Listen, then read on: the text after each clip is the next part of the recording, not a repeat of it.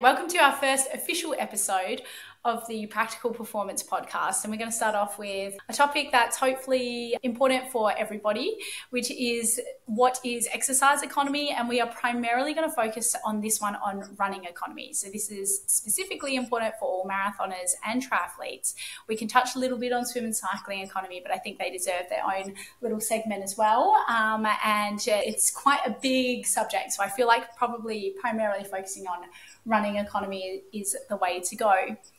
For sure. I mean, let's start off right at the beginning then. So, what what is running economy? Okay, running economy is the amount of oxygen that your body consumes at a particular submaximal intensity. So that's just thinking about the oxygen consumption side of things. It also can be expressed as energy cost, and that energy cost then accommodates for substrate utilization. So whether you're using fats or carbohydrates. So you can think of economy really simply. The way I like to keep it really simple is just like your car. So a more economical car. So if you had two cars, you had um, a super economical car and a less economical car, you obviously fill them up. The more economical car off the same tank of fuel is going to go further. Okay. So often athletes think, oh, improving economy is it important in longer distance stuff like Ironman and marathons? Absolutely, yes. But then it's also important to recognize too that the more economical you are off that same tank of fuel, you'll actually be able to go faster as well. Um, so that's the best way that you can think of economy. And it's one of the three factors that contributes to overall endurance performance. So you've got the athlete's VO2 max, you've got the athlete's lactate threshold, and then economy is your third factor. And that's not in that order of importance. They are all important. In fact, you could argue in athletes who are of the same level VO2 max and lactate threshold, that economy is the determining factor when it comes to performance. So let's say, you know, like Joe at the moment is racing up for an Ironman or, you know, us when we're going for a running race, if we're lining up against all other athletes who've got the same VO2 max as us, which realistically, like Joe, at your level, when you're lining up against the other guys, you're all going to have the same or very similar VO2 max levels and probably very much the same lactate threshold as well. It's your economy of your movement that is going to get you across the line first above the others. So when you're thinking about, you know, how do I beat my competition, people that you know you always line up against, more economical one, that's where my money is going to go. Oh, it's a good sell, isn't it? it definitely makes makes a good case for wanting to be wanting to be economical. Yeah, so I think yeah, lots of on like VO2 max and lactate threshold, and they kind of forget about economy. Yeah, lots of people think that a higher VO2 max means that you're going to go faster, don't they? But you would actually exactly. say, from looking at it all, that a high VO2 max is great as long as you're efficient and you have a good run economy because a high VO2 max but a very inefficient person isn't going to go as quick. And using your car uh, analogy, I guess that's the set, that's the equivalent of someone having a massive engine in the car, isn't it? But very badly tuned. You know, it looks good on the surface, but it's not actually that good an engine. Exactly. And you know, like the prime example of this that a lot of research uses is Paula Radcliffe. So she had a very good VO2 max. Like there's no denying that. I think it was, uh, I can't remember if it was 70 or even 76 millimeters of oxygen consumed per kilogram of body weight per minute, which is huge, right? Huge. But she had that from a very early age because she was always a fantastic athlete. But when she changed to her marathon running and when she actually improved and when she got her world record, her VO2 max decreased and her economy increased. They like when you're looking at uh, Andy Jones's work, who who looked at uh, you know her physiology it was actually showing that yes, she decreased her VO2 max at the cost of being able to work on her economy to improve that. And that's what got her those marathon world records. And that's what separated her from the rest. It's not downplaying the importance of VO2 max values. Like I said, it's important to have that engine. But just like you said, Joe, if you then your economy is crap, you're never going to beat your competition. Like you're just not going to. so, so, so would that have, have decreased then? Because she would have obviously maybe done like a block of like VO2 max training and then like as it got closer to the marathon when people say oh i'm going to do some marathon specific stuff she would have done that not done so much vo2 max training. So that kind of dropped that area a bit. But then the hope is that your economy goes up in that last 12 to 16 weeks enough that you offset the little drop in vo2 max that you have. And that was basically what we saw with her then. Was that yeah, what you'd say? exactly and that, and that for her happened over time. I think that there there was um, research to support that those changes in economy, like she changed that and improved that over 15 years. Like you know, oh right, an athlete yeah. for a long time. So you would definitely get bumps depending on what type of training that you do in shorter period. I'm not saying it takes 15 years, but yeah. that was over time her, her VO2 max dropped and her economy improved that much. And that was like the the biggest room for improvement for her because your VO2 max values are going to plateau sooner or later. Like there's only so big an engine, there's only so much your cardiorespiratory system and, uh, you know, the, adaptations that you can make to improve your VO2 max. But your economy, there's a lot of different factors that influence it. Genetics is obviously a huge part of it. Um, but there are also a lot of training factors that can influence it uh, as well that you can work on that do take a bit of time to have those and improvements in One question for you.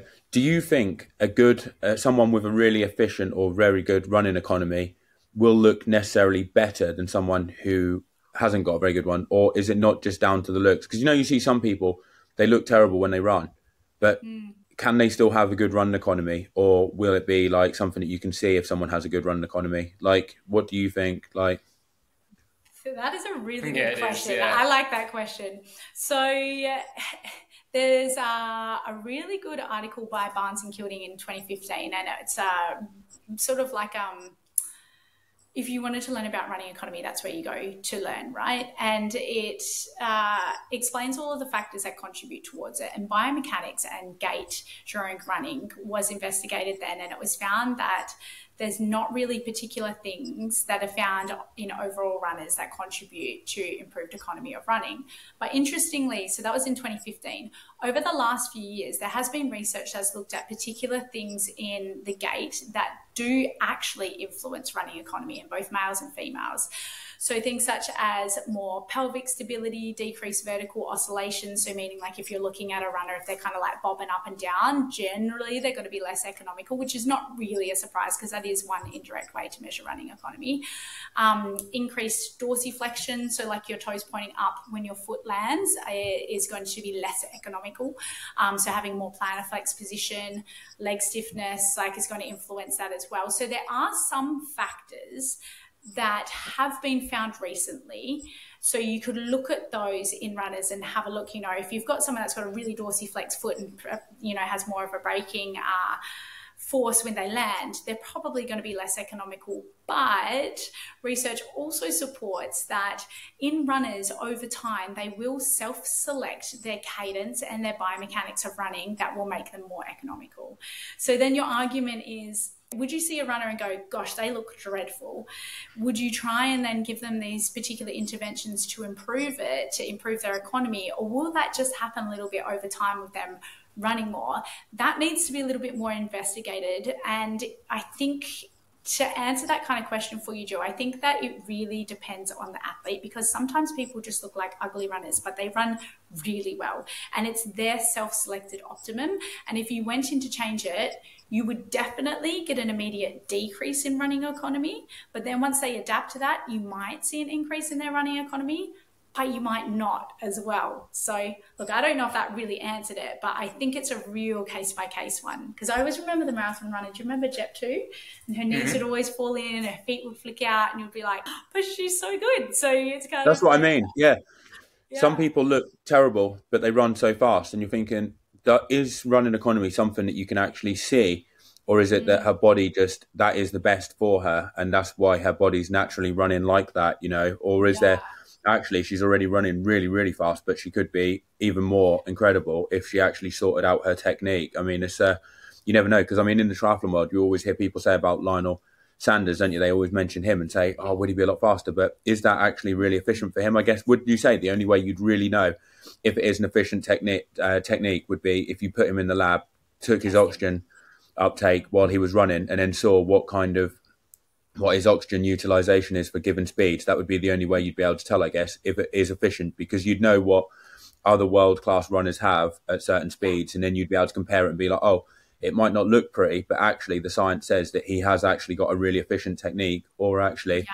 You'd look at it and be like, "Oh no, we're actually losing a lot here. We need to actually put a big emphasis on making it look a bit more pretty and sorting out the technique because there's some massive gains to be had. Yeah, it would be so interesting, say, to do some economy testing on him. So the way that you do measure the gold standard of measuring running economy is yeah to pop him on a treadmill. Generally, you do have to do it on a treadmill due to logistics. Pop him on a treadmill. More often than not, it's measured at 14 and 16k an hour because then that's what the research compares to, and then in higher level athletes, 18k an hour.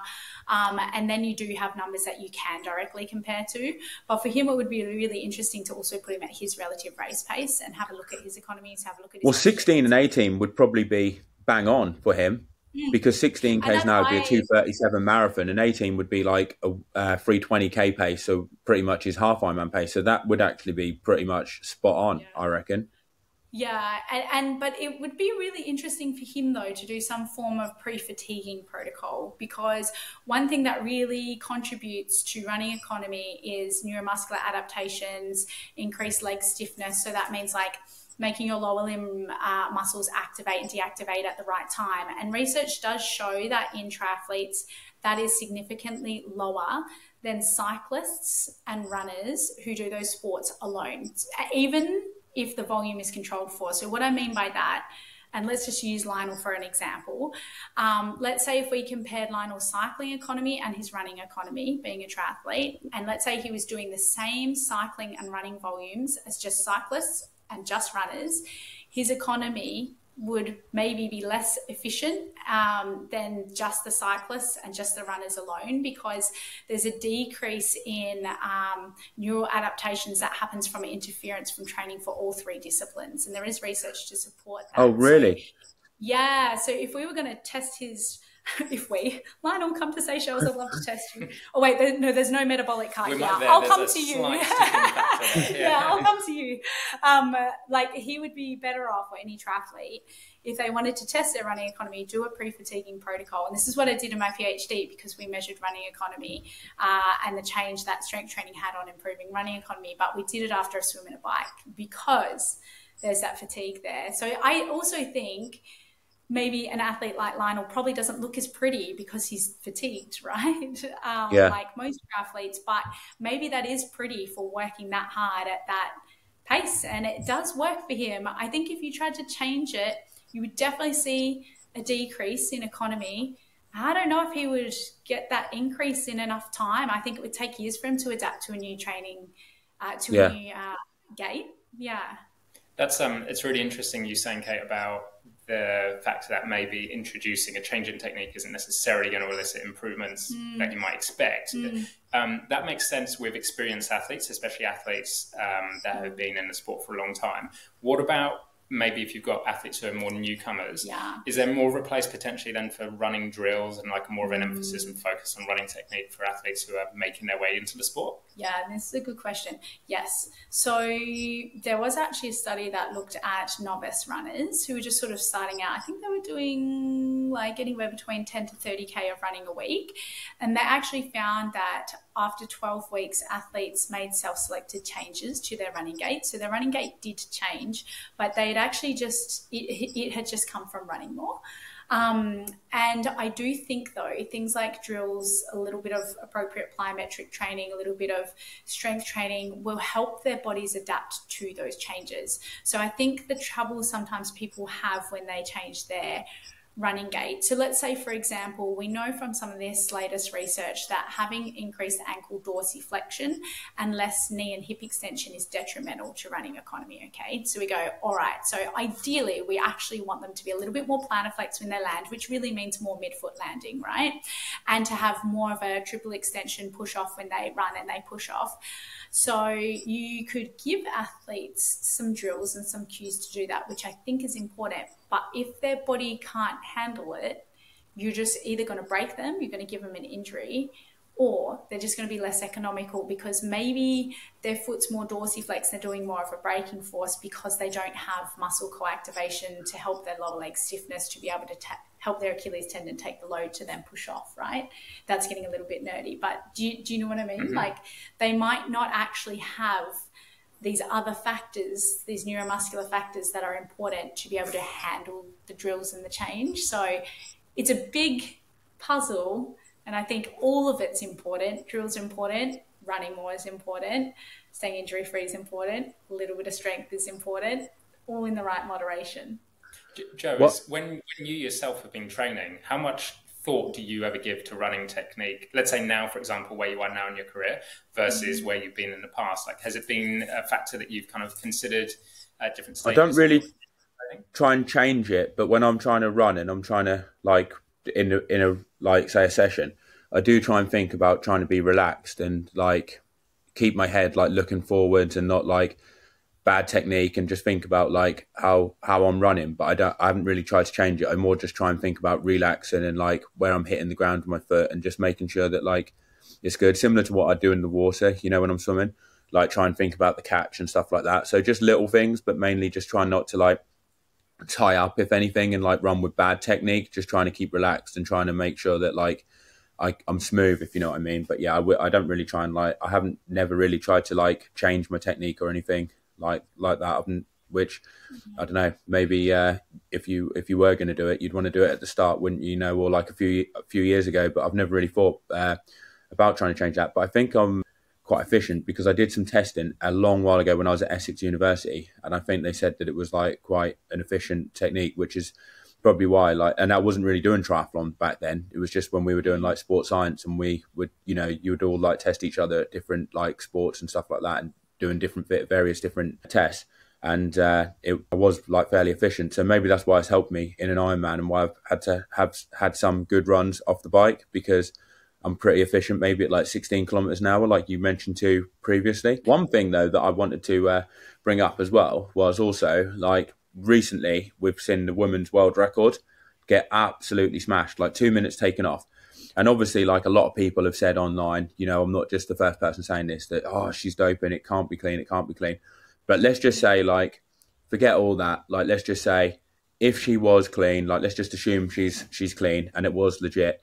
What would you say, like you know, could have helped lead to some of these performances if it if it is like clean so like assuming like innocent until proven guilty because obviously she's like beaten her 5k pb in the marathon her 10k pb in the marathon and was came within 10 seconds of a half marathon which mm. doesn't look great on paper but even if it wasn't to get these improvements so even if she was on drugs that's still a hell of a time isn't it you know for a female to run under 210 so yeah. would you say that like looking at that she must she has to be very efficient doesn't she? Like her run economy must have been fantastic.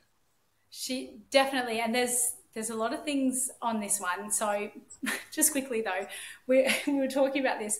Wouldn't you think like her friends would be in the crowd and be like have you seen the incredibles at the end when dash is in that running race and he's like off in front the little kid incredible and he's like speeding off and his parents are like slow down slow down like you're yeah. by too much like she could have done that and it would have been less questionable. Yeah. Hang on, I can't get a 209. A 211 is a little more feasible. I'll go to that. Like, come on. No. Rumor so has it her coach was seen in the crowd telling her to slow down, but she wasn't listening. Slow down. I'm going to have some explaining to do. This looks way yeah. too good.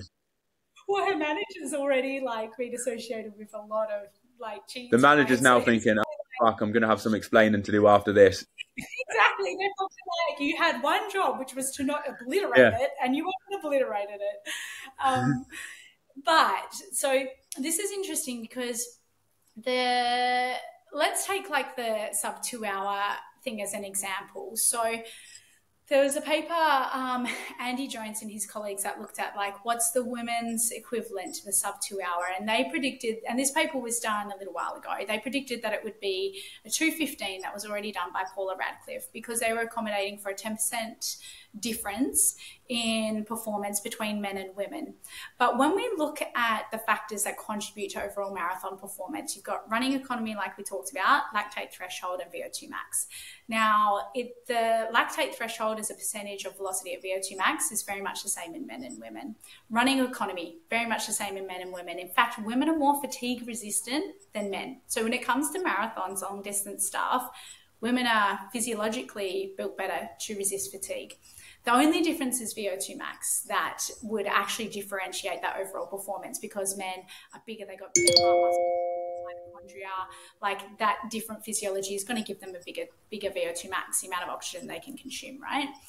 So when you actually accommodate for that, and then you accommodate for women have only been in marathon running recently. So you're going to see huge skyrockets in performance compared to men because men have been literally been allowed to race longer than women. Women were only allowed to start doing marathon running in I think it was like the 60s or the 70s, and then they got like pulled off course. So you're going to see huge drastic increases. And I think that 215 that was predicted as like the equivalent of the sub two hour is is that's out the window, right? Like that's not the women's equivalent. It's lower than that. And so there have been other sports scientists that have looked at economy, looked at VO2 max values, and come up with some more times that are more likely as the equivalent to that. And we know that the sub two hour is probably going to be broken predicted around 2030 2036 or something like that for the men's. So the women's maybe earlier maybe you know who knows right? But there are some that using proper equations are predicting the women's equivalents like a 211 um, there's been one that has predicted it to be a 206 there are other scientists that say, why can't women do a sub 10? Um, mm, about that one. But my point is, physiologically, without cheating, is it possible that she ran that time? Yes, I think that it actually is possible. Are there valid reasons why she's just gone out and done that? People are saying it's the super shoes. Like, okay, but let's not be totally dumb. Like, super shoes are great, but can they? And she'd had them for years anyway.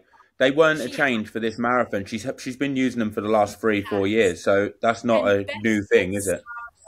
yeah, but, but but best case scenario, super shoes give you a four percent improvement in economy. Really, best case scenario. I don't think she's an ultimate responder to super shoes. Four percent improvement in economy, well, a five percent improvement in economy can translate to about a three point eight percent improvement in marathon time. But like you said, it's like she's had them for years. But you could then argue a 3.8% improvement from Paula Radcliffe's time would give her close to ish, like a 210 ish marathon. So, could she have feasibly done it? Yes. Did she? Only she's going to know the answer. Like, I. I, I, it's like Santa Claus. I, it's much more magical when you believe it's true. So let's just believe it's true. I guess what would be interesting, what we'd want to look at if we were to see properly whether or not we think it's legit is you'd want to see her training history in the build up to some of these other marathons and half she's done like did she do them times with a really disrupted and terrible training block? And then it was almost mm-hmm. like, oh, right, she had only run these times, but her training wasn't great going into it. And then also, you'd want to see her biological passport or something, you know, yeah. while she's training, you know, if she's on the whereabouts it. program and see yeah. is there a massive spike in something that obviously looks mega suspect because you could see if you saw her biological passport and everything and she was getting tested really regularly then you'd be like well that looks fairly legit. And then her training wasn't great going into the other races and she had a really good like five month six month period into this one. So it actually does look legit, legit. But like you say only the people close to her her coaches and stuff like that will know unless she actually shared the details or come out and said something about it. I guess the big elephant in the room is the amount of kenyan athletes that are failing tests which obviously puts which makes people not believe everyone now, doesn't it? Because they've kind of yeah. brought it on themselves. Every time a Kenyan athlete does something incredible, yeah. because so many of them are failing tests, you've kind of t- taint everyone with the same brush, don't you? You know, and you just think exactly. oh, they're that, they're cheating. It's really sad for her if that's true because, like I said, physiologically possible, yes. If you now, I don't know her genetics, obviously, but uh, in these articles that look at like what's the women's equivalent to a sub two hour, they all talk about an East African being uh, capable of doing that because of general genetics. Looking at her body weight distribution, she's got long, slim, like slim legs. Like her, she carries her weight more in her, her the top of her legs. Like there's everything about her that should be capable of doing it. In terms of that, like when we're talking about just looking at her, just looking at her, looking at where she's from, looking at the physiology. Obviously, I don't know her numbers, but like she makes sense that she could. But it does it just overshadows everything that's been going on just overshadows it. So like yeah i, I don't know. It's, it's so going on to sorry nick what were you going to say? I was going to say if we bring it back to just thinking about let's say the average athlete and let's take marathon in this example does it stand to reason that however economical any one person is, their economy can change during a race as long as a marathon, for example. And this mm. can apply to triathletes running off the bike as well. Mm because at the start, we've all seen it. Everyone can run quite nicely, look like they're mm. going well. But when you look towards the back end of a marathon and see what's happening, people's running gait changes, mm. doesn't it? And you can see that people are sometimes mm. less economical looking, like you were saying earlier, Joe, than they were at the start. So, can one's economy change within the race? Yes, so it's interesting you say this because we did uh, a, a, super shoe study um, where we had female athletes. We were comparing Nike and Asics, and we did it over a long duration. It was like two and a half hours, accommodating for a change in economy. And you know, it didn't change that much, but that's also because we had calculated their pace as a percentage of their lactate threshold and velocity of VO2 max and sat them on that pace. So we'd perfectly paced it for them to replicate a marathon pace. So it's that probably doesn't help because that's not what they go and do. Yes, you've taken away day. one of the obstacles. We've controlled to, the um... controllables because she did fade a smidge, an ever so slight smidge. But you look at the lady that came second, she was sort of staying with her a bit, and then she ended up seven minutes behind her, so she proper faded. So her economy would have definitely gone in in the crapper. Um, but definitely in triathlon, I remember from my PhD, we only did a 20 minute run off the bike, and the sample of oxygen consumption on the second half of that was already less economical than the first. No, it was the other way around because they were getting used to running, and then they had sort of got used to it within 10 minutes and then kind of gone downhill again. But it, it will change over the duration um, of it, and then also you're going to get less economical because your substrate utilization changes as well, so that's going to influence it too. So long story short, yes, it will change. But it's not just about running mechanics. I think we're focusing on that too much. There's so many other things. All right, Kate, I'm sold on all this uh, run economy then. So, how do I and others that are listening to this, how do we improve our run economy? What's uh, what are the best things we can do to make ourselves more efficient? So, modifiable factors train more sensibly. So, improving your cardiorespiratory system training at heat and altitude will improve it. Um, and improving neuromuscular adaptation. So, doing things such as strength training and plyometrics and working on that side of things can influence it hugely as well. And in terms of sort of bang for buck, obviously doing more of your endurance training sensibly is the way to go, um, including some strides uh, and some drills and technique cues, and then doing some appropriate strength and plyometrics. I think are the easiest things that all athletes can do because you want to think about what makes an economical runner. Well, if you think about running, you're running and you're hitting the ground, you're taking six to eight times your body weight through one limb you're taking that energy, you're storing it as elastic energy, and then you're pushing back down again and you're pushing yourself forwards. Think if, of your lower limb like your Achilles tendon, your calf like uh, an elastic band. If you make that really strong and stiff, you hit the ground, your tendons take that load. They take that, expend it back again, push forwards, means that there's less metabolic cost because your tendons are doing the majority of the work. So, if we focus on that, you can really improve your economy. In fact, there's studies that say that without having that muscular tendon stiffness, you will be 30 to 40% less economical. So when so we're talking about you're, um, by a few percent, like 30 to 4% is huge.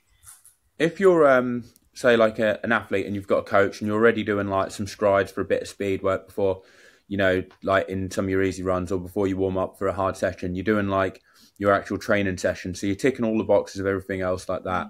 Uh, you can't necessarily go to an altitude camp um, or you can't live at altitude and do all the heat stuff. So you've basically got an hour a week where you can go into the gym or like potentially two hours a week because the only thing you're not doing at the moment is gym stuff and strength stuff. Mm-hmm. What are the best kind of exercises that someone should do if they're looking to go to the gym and say like, what they thinking to themselves, well, I'm doing everything else. I'm just not doing the strength stuff. What's the best things they could do if they've got half an hour to an hour or something like that in the gym? The best things that they can do is a combination of a little bit of heavy strength training and a little bit of plyometric training. And the best things to focus on is your calf and Achilles complex. So you'd go into the gym, do some bent knee calf raises, um, a little bit of, I would say, like some single leg squats as well, because they would really help with like the biomechanical side of it, like we are saying. So focusing on not letting the knee fall in. So do a couple of rounds of those to like warm up.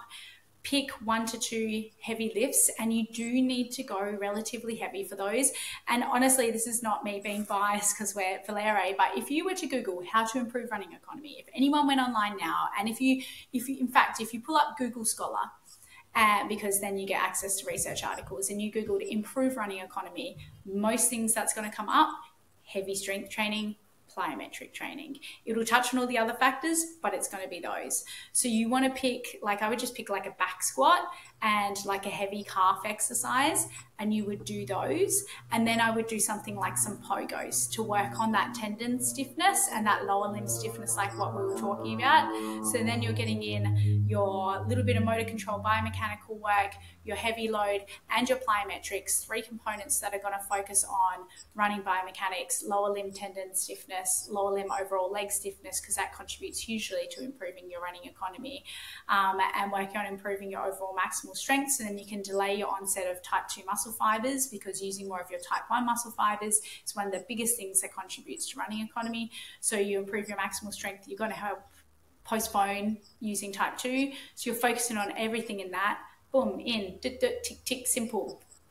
What about range of motion and mobility? Does that come into play for running economy specifically? Like if people feel like they've got certain areas of, say, like tightness or um, inflexibility, mm. is that going to impact their ability to become more economical?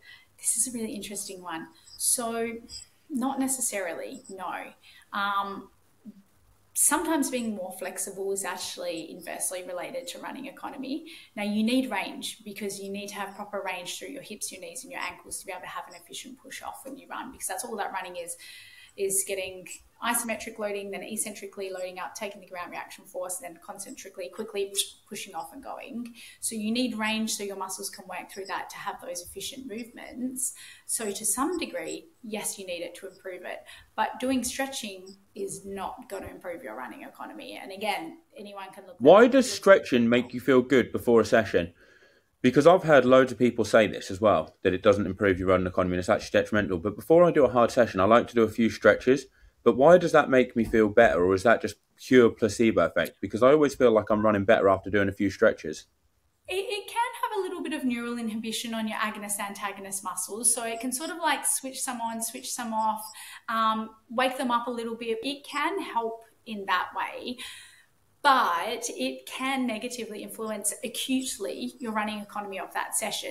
But when we're talking about stretching, it's passive stretching that's not good. Active dynamic movements like a leg swing or doing some like lunges, you know, like these ones and whatever, like they're totally fine. They're not going to be detrimental to your running economy. You want active dynamic movements. Static stretching is a no no. So standing there and like just pulling your foot up and stretching your quad is definitely not going to help your running economy. Yeah, and that's one of the ones that I do. Yeah. Oh no! Are they really? I'm picturing yeah. it. My God. Yeah, and like some like standing there and like stretching the, uh, you know, like touching your toes. Podcast on repeat is Joe. he was in it. Joe. I do a bit of both. I do a bit of both um, sent me this meme the other day, and it was this lady like going off at her students about something, and she said, "Hey, look, it's real life footage of Kate talking to her students about how terrible stretching is. I'm not against static stretching. I'm not. I'm gonna send you a little video. I'm doing a run session after this. Right today, I'm not doing any static stretching, and I'm going to take five seconds a kilometre off my average pace for the session because I didn't do any static stretching. My running economy's gone flying it can have its time and its place. I have no issue with people static stretching. That's cool. That's okay. I only joke when I say, you know, I hate it. But doing it before an interval run session is not the time and place. The time I've done it for years before an interval run session, like literally, like since I was younger. It's okay. If no. Joe, if Joe static stretches before his in, run interval session, hits a P, hits a PB, comes back and tells you what, what, what are you going to come back with? I would say he could have done his PB even faster if he didn't do that. no, Joe, change it to a dynamic movements instead of just. I do a bit of both. I normally do a yeah. bit of both. Well, there you go. That's what it'll be. Is the other bit static stuff remove the static stuff. Just do your little dynamic leg swingies and what you want to do and some drills, and they are going to get you your PB. Static stretch in your own time. Outside of that, not before a session. But on that, Joe's going to go smash his run remove his static stretching before his run. He's going to do it later, and he's just going to dynamic run. Then he'll let everyone know how good it was.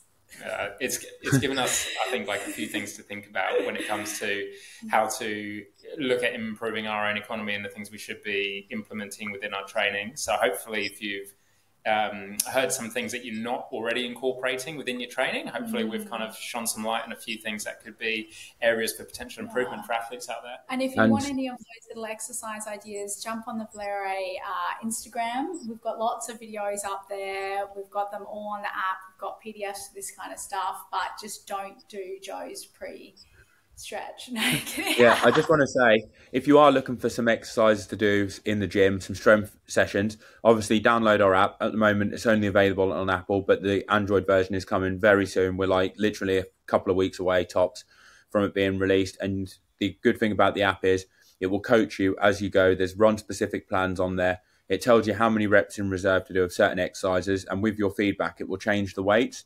So it's absolutely awesome for improving your strength and conditioning. And especially if you haven't got a strength and conditioning coach, it's only £12 a month and there's absolutely loads of sessions on there. Like, Kate, how many different sessions do you reckon there are on there across the board? Over 100, isn't there? Like, it's. Oh, yeah. I looked on the admin panel the other day. I think we're up to like 2,000 different sessions. There you go. 2,000 different sessions, guys. So if you want to get into your strength and conditioning and you're not sure what to do, this is the best place for it. Like, there's nothing else out there designed for triathletes by triathletes as well. Kate's got a PhD, so like it's all research based. So yeah, you, there's nothing else like it out there, and uh, you get a free trial for two weeks. So download it, give it a go, and if you really don't like it, then uh, you can sack it off after two weeks, and it costs you nothing. But if you do like it, then carry it on. Love it. Thanks, Joe. And also stay tuned to this podcast because we've got so many cool topics we're going to chat about. And uh, thanks for joining us, everybody. We'll catch you next time. Later. Yeah. Cheers. See ya.